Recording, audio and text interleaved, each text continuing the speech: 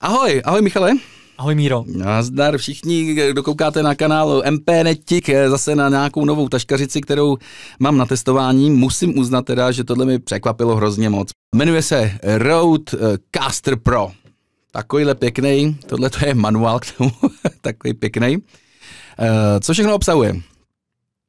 Tak tam máme nějaký mikrofonní vstupy, co ty na to? Máme mikrofonní vstupy celkem čtyři, to znamená, že opravdu eh, to má široké využití, pochopitelně vzadu 4 XLR. Eh, použít můžete eh, dynamický nebo kondenzátorový mikrofon a pozor, tam je Amfex procesor, nebo jak chcete americky Amfex. Amfex. Amfex procesor na každý, na každý šavli, takže každý, všechny čtyři kanály mikrofonního mají a je tam výhoda toho, že vlastně můžete zvolit typ mikrofonu, samozřejmě je to, jsou tady přednastavený šest presetů pro mikrofony Rode, to je podmik, to je úplně novinka, tady právě k tomu pultu, to je jenom malinký, vlastně takový, jenom čistě ta kapsle a, a nic a stojánek na mikrofonu. Uh, broadcaster uh, je uh, tohleto, to je tenhle ten profesionální uh, kondenzátorový mikrofon. Uh, Procaster je dynamický mikrofon od uh, Rode a pak jsou tam vlastně NT1, NT1 Ačko, NT2 Ačko, což jsou studiový velký velkomembránový mikrofony a samozřejmě dva presety kondenzátor Dynamic. Ovládá se to všechno pomocí uh, dotykového displeje a prakticky vy zvolíte už jakoby preset a v výsledku teďko se jenom jsme zmačkli tlačítko a máme to nastavený.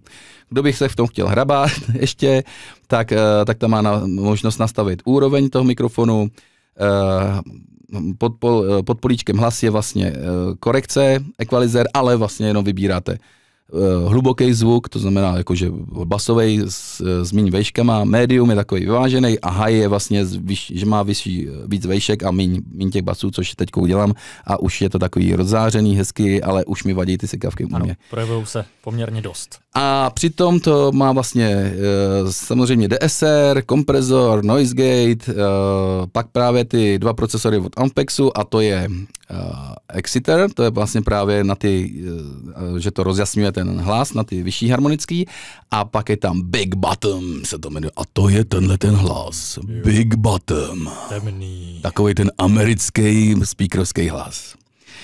Uh, tak a to máme ty čtyři mikrofonní vstupy. Pak máme tři jakoby e, vstupy na externí zvuk.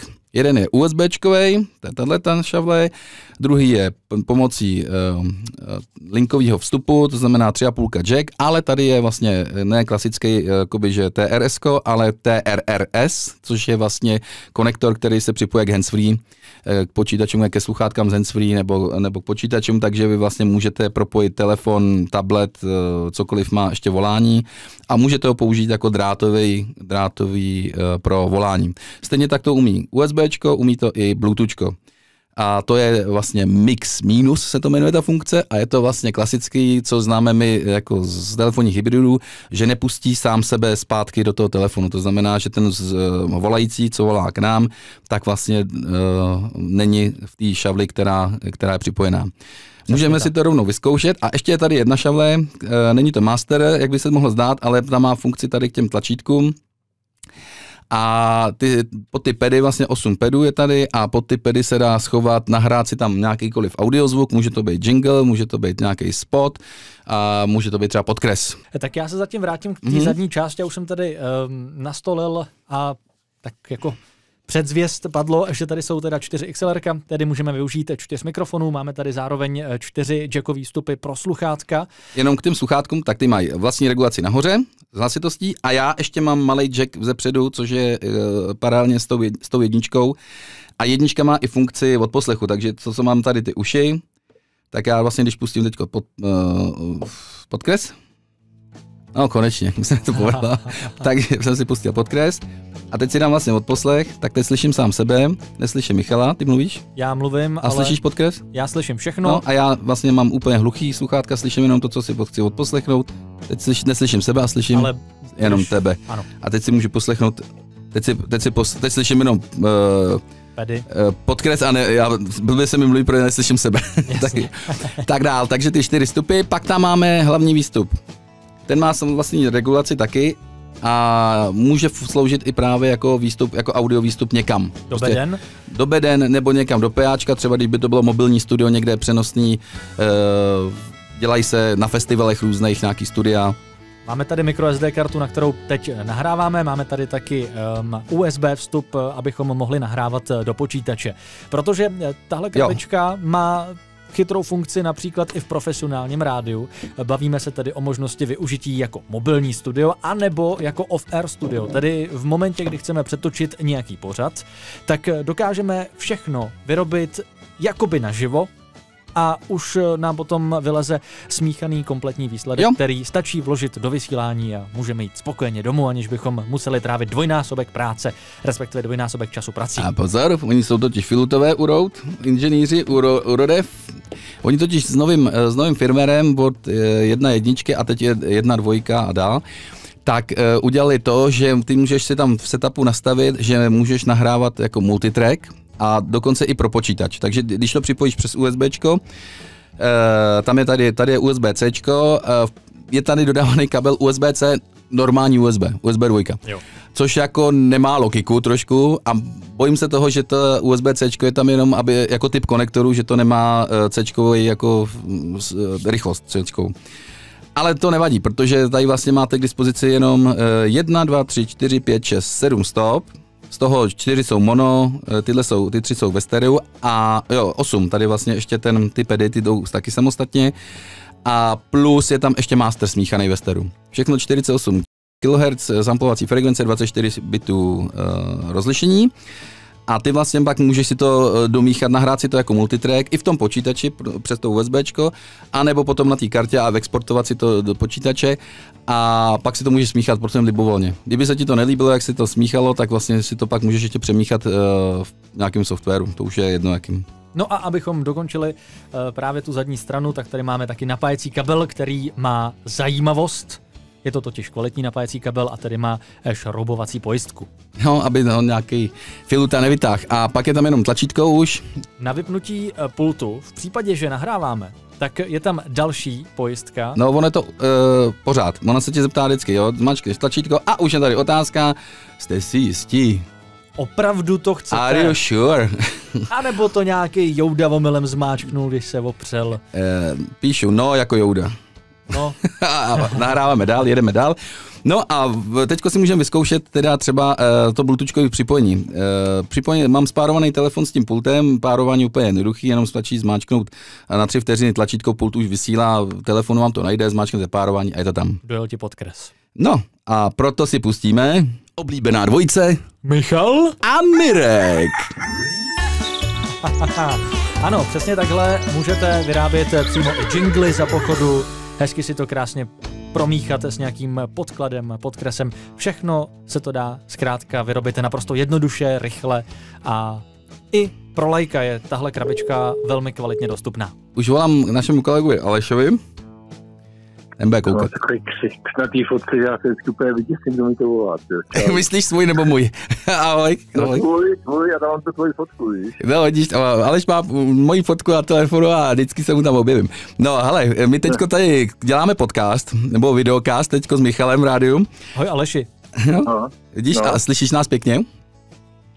Slyším vás dobře, ale nevidím vás. No nevidíš nás, protože my tady máme, to tě uvidíš potom na YouTube, na mém MPN tik kanálu, který už jsem zmiňoval tady, ale my tady totiž máme takový pultík od Rode, prof, skoro profesionální pro uh, rádia, má to čtyři mikrofonní vstupy a právě připojením na telefon a dokonce vlastně teďko tě máme v pultě takzvaně. Eh, takže vlastně, ahoj jo. výherče, máme pro tebe kontrolní otázku, kolik je 5 plus 6? 5 plus 6? A můžu, můžu, mám nějakou variantu odpovědí? Uh, já bych dal za A, za B, za C. Ano, čekám. A nebo můžeš použít za D kalkulačku. Přesně 57, to já naprosto přesně. Ano, to je správná odpověď a ty vyhráváš ano, ano. něco hezkýho. Ty vyhráváš uh, levu, možnost se podívat... na zájezd. No, vidíš to, tak to už tomu nemáš tak daleko, vej, takže ono to budeš potřebovat za chviličku. Ale já to nestydím, muž nejlepších letech. Jako, no tak, Ježíš Maria.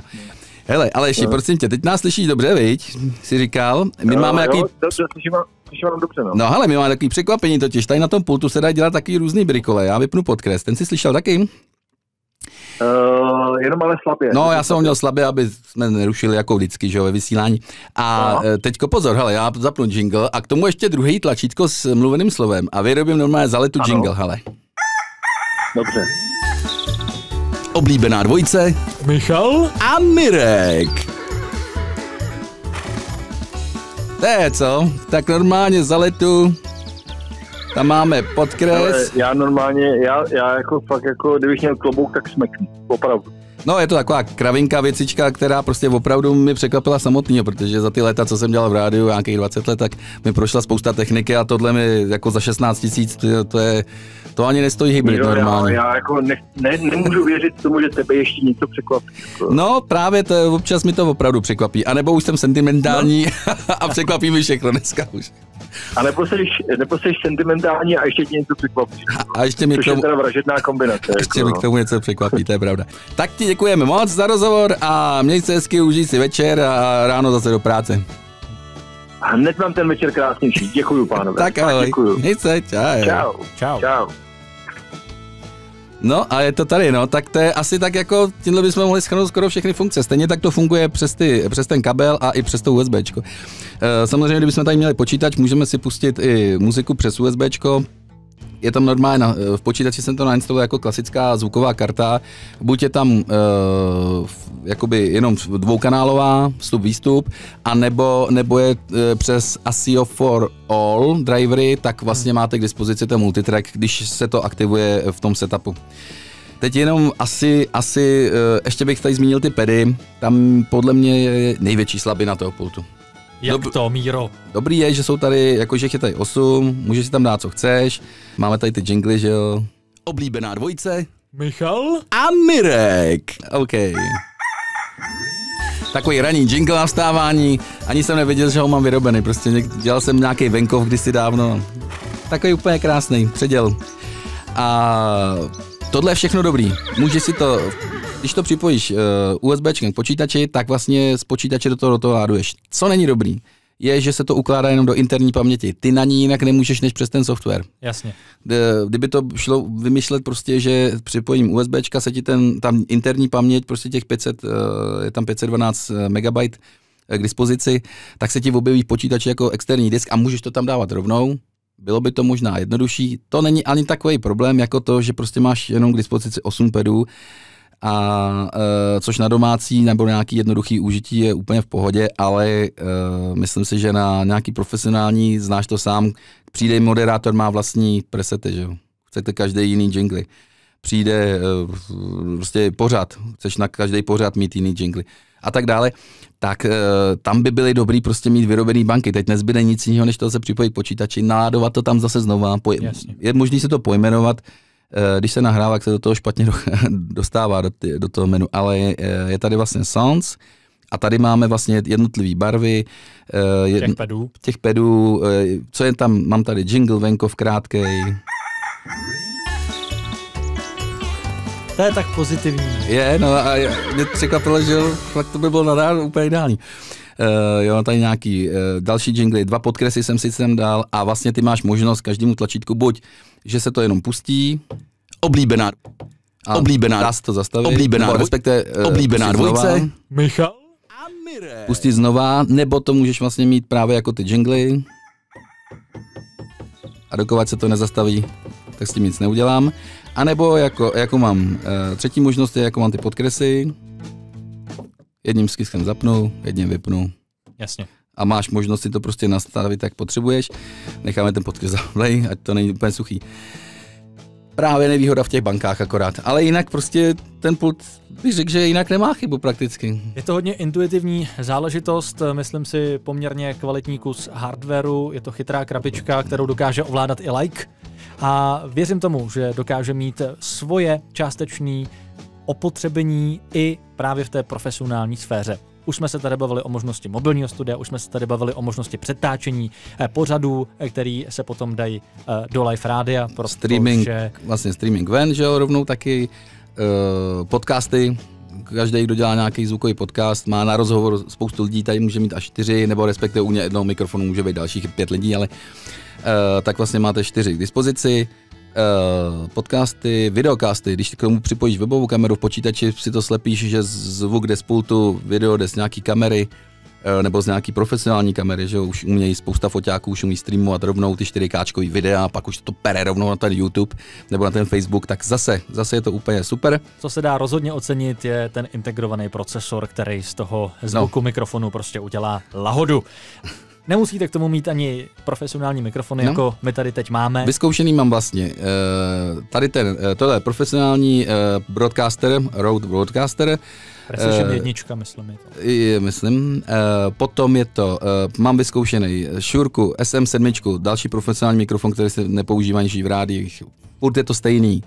Mám vyzkoušený uh, studiák, velkomembránový uh, studiák, tam to bylo nějaký uh, audiotechnika, myslím, úplně základ, hrál to zase takhle, dokonce líp než mě ve studiu, to, to mě úplně dostalo. A mám, dokonce jsem uh, doma vzal mikrofon, co mám k nějakému karaoke od dětí, Sto, jestli má hodnotu dvě stovky, to má možná moc, to je ještě stovku možná. Tak.